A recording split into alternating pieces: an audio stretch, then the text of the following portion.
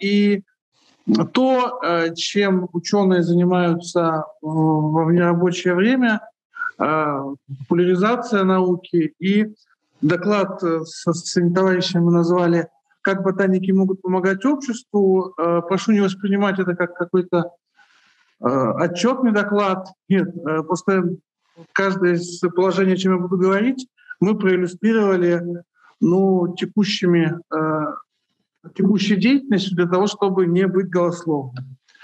Ну, собственно, э, многие ученые в различных обществах состоят, профессиональных, это и ботаническое, и минералогическое, и общество почвоведов, и э, так далее, так далее. Можно продолжать. И вот на примере Русского ботанического общества я привел тут некоторые задачи. В частности, это широкое содействие развитию всех направлений фундаментальной природной ботанической науки. Это пропаганда подлинно научных знаний в области ботаники, биологии в целом, внедрение теоретических и практических разработок в области ботаники охраны растительного мира, ну и сплочение общественности в обсуждении решений важнейших проблем современности. И, собственно, мне кажется, что ботаники Мурманской области очень активно воплощают эти пункты в, в действии. Собственно, в этих четырех пунктах есть э, та польза, которую могут а, оказывать ботаники обществу. Ну, безусловно, начнем с пропаганды научных знаний и просвещений, э, силами, в том числе, да, э, членов ботанического общества поддерживается и ведутся два лектория. Один из них — это лекторий под эгидой главы города Апатиты. К сожалению, он уже некоторое время находится на карантине ввиду известных обстоятельств. И мы вот уже, начиная с осени, каждый раз продляем, а, переносим, точнее, срок а, его начала, возобновления. Но я вот надеюсь, что сейчас эта вот волна микроновская схлынет, и все-таки мы приступим к, к дальнейшей деятельности. Ну, будем надеяться. А второй лекторий — это край, в котором я живу. Он проходит э, раз в две недели по воскресеньям в библиотеке Гладина с 2021 года в библиотеке на улице Зиновьева э, в связи с ремонтом Гладинки. И каждое третье воскресенье в областной научной библиотеке в Мурманске. Но, опять же, с 2020 года, пока мы мурманскую деятельность прекратили, Э, ввиду понятных причин. Ну, вот пропаганда научных э, э, знаний, да, опять же, у нас есть вообще вот у Ассоциации научных обществ была очень хорошая традиция приглашать ведущих популяризаторов науки для чтения лекций. У нас побывал и Михаил Гельфанд, и Михаил Кречмар, и очень полюбил сюда ездить Алексей Поевский со своими товарищами. И в 2021 году также он приехал э, по своим делам и прочитал лекцию по э, сравнению мозга мужского и женского. Лекция состоялась в Артиклофте 27 июня. Также вот была лекция э, гостя Мурманской области Василия Пажетного. Я думаю, что много, многие помнят. А, и присутствовали на этой лекции о том, как функционирует э, детский дом для медвежат. Ну, безусловно, проведение экскурсии очень важное направление вообще, потому что жители, оказывается, очень мало знают о своем городе, о своем регионе. И вот такие э, образовательные акции очень э, полюбились горожанам, но об этом больше расскажет Екатерина Копейна в своем докладе. Безусловно, члены общества участвуют в разных и других э, лекториях и различных мероприятиях. Вот здесь несколько приведено, в частности, «Ночь наук», в котором Кашкольский научный центр, ученого Польского научного центра составили основу программы, и в том числе члены других обществ, и минералогического общества, общества химиков, гидробиологического и так далее.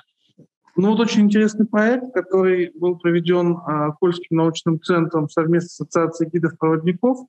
С 28 июня по 9 июля состоялась офлайн а, часть этой школы, школы гидов природного туризма. И а, члены ботанического общества, конечно, активно участвовали как преподаватели и делились, в частности, секретами ботанического мастерства при проведении экскурсий.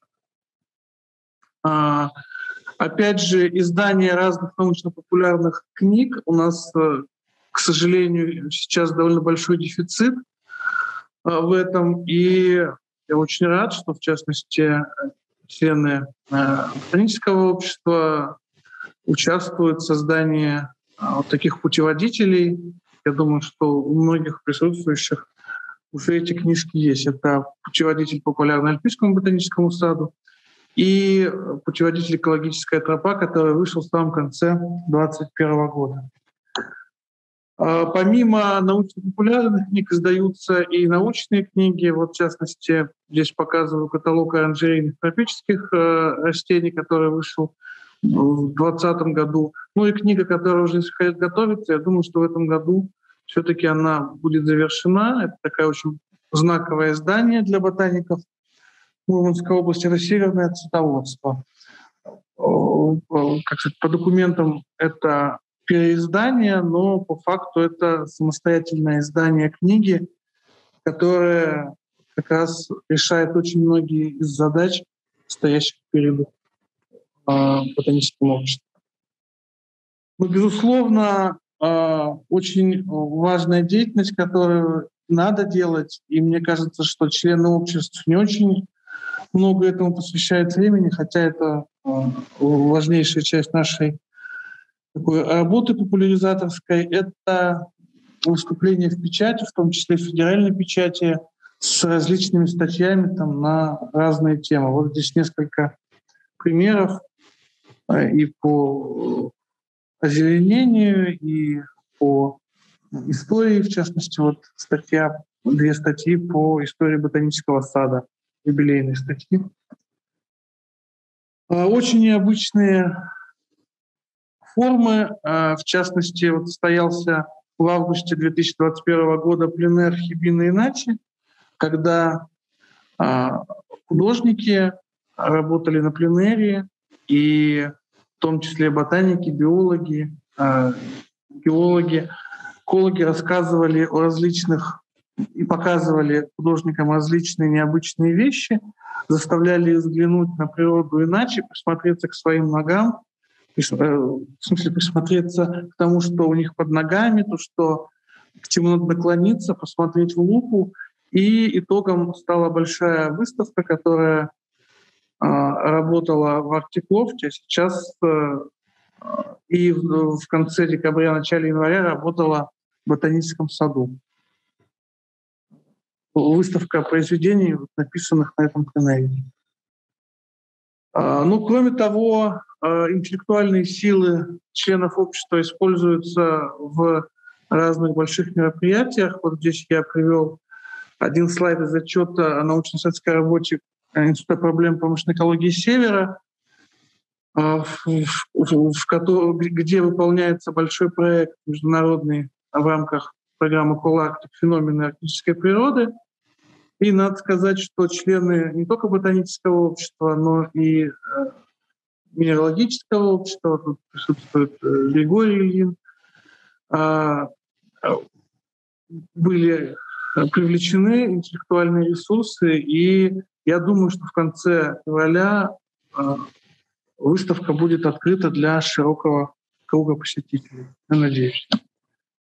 Ну, э, переходя от популяризации к второму пункту, это внедрение теоретических и практических разработок в области ботаники и охраны растительного мира. Но здесь, мне кажется, такой довольно яркий пример — это создание особо охраняемых природных территорий. И после длительного перерыва а последний ОПТ было создано в 2018 году. Вот в сентябре 2021 года был создан природный парк Териберка, который э, имеет целью не только охрану природы, но и развитие цивилизованного туризма. Ну, ну вот еще один пример э, того же толка, только здесь не создается особо охраняемая природная территория, а происходит ее реорганизация. Из заказника а, делают а, природный парк как раз для того, чтобы максимально учесть интересы туристов и, на, и охраны природы, и местного населения. Поэтому, если мы посмотрим на нижний правый а, квадрат, то увидим, что довольно сложное зонирование, предусмотрено 5 зон, но это как раз для того, чтобы э, учесть, в частности, богатые месторождения водопроявления на левом рисунке, э, которые здесь присутствуют в Лазерских горах. И надеюсь, что в конце этого года э, произойдет Э, подписание э, постановления о реорганизации заказника. Ну, кроме того, на основании различных научных исследований обосновывается создание новых памятников природы, в том числе в э, окрестностях города Кировска. Вот здесь показаны две территории. Это ущелье Скальное Южное Сквозное и урочище Городская щель. Э, которые довольно близко к городу э, расположены, но при этом там обнаружено большое количество редких видов растений, и э, которые, в общем, испытывают некоторую угрозу, а статус памятника природы даст для них шанс, то, что эти территории не будут уничтожены. И, собственно, место обитания этих видов. Ну, еще очень важно, это а, э, эти работы лежат а, на перекрестке между внедрением разработок и между популяризацией. Это вот создание системы навигации для отдельных ОПТ, то, чем занимается в частности Ольга Петрова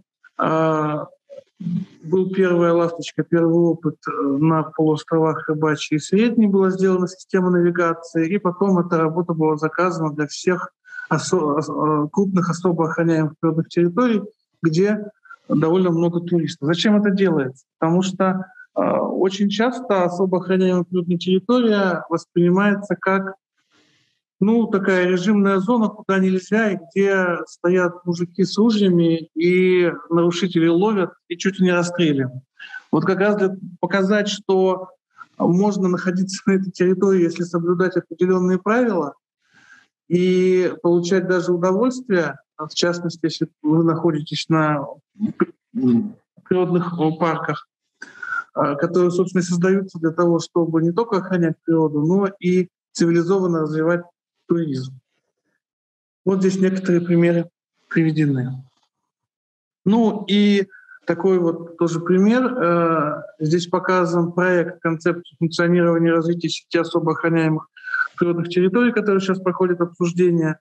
Собственно, э, ботаники, экологи довольно много сил э, этому посвятили для того, чтобы система особо охраняемых природных территорий была умная, Э, и эволюционировала, потому что нельзя находиться на положениях, на, на каких-то постулатах 80-х, 70-х, 80-х годов, находясь в 21 веке, и система должна быть динамичная, и она должна соответствовать тем вызовам, которые есть, в частности, увеличение туристического потока.